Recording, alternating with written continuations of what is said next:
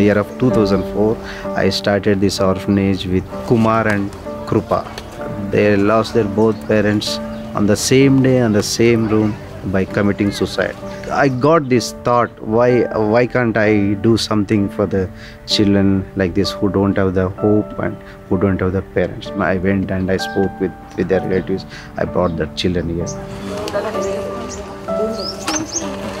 When I started this home, we struggled like anything. Some of our children, still we can remember the days. We have waited up to the last minute for the even for the food also. But slowly, slowly, we have developed our daughters. Cherish Home, it's a family. Children get that proper care and attention which they have lost at the very tender age. The infrastructure, the education, the food, till date we are able to do for the 40 children. We want to give the, the best education, the best facilities. Children education is the most prioritized thing for me. I'm Anjali, I'm in 11th grade. My name is Kumar. Right now I am pursuing my bachelor degree in commerce. I'm Sushila. I completed my Bachelor of Technology in Computer Sciences. One of our child just finished her bachelor degree and she is in search of job and she stand on her own feet. I'm proud of, of my child.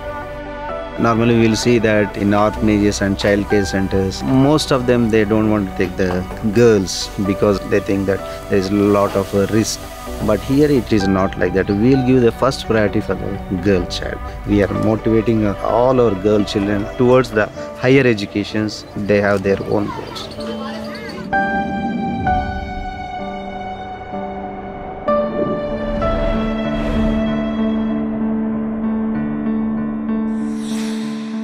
We are so grateful for On Good.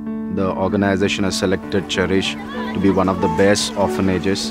We want to know more about what is actually going on a global community in orphanages. What are the best practices in America? What are the best practices in different parts of the world? If there's an interaction between these non-profit organizations, it helps us to do in a better way and we can expand our services to more children. Children are coming who lost their parents, who don't have hopes, who don't have uh, any anyone to take care about themselves. We can do the, the same kind of thing what we are doing for these children. We can expand our service to more children. I lost my hopes when I lost my parents, but I thank God that He has restored everything that I has lost, given me 14 brothers and 21 sisters, and I, I can say they are my own family members. I treat them as my family members. That is the main motivation behind this Cherish foundation.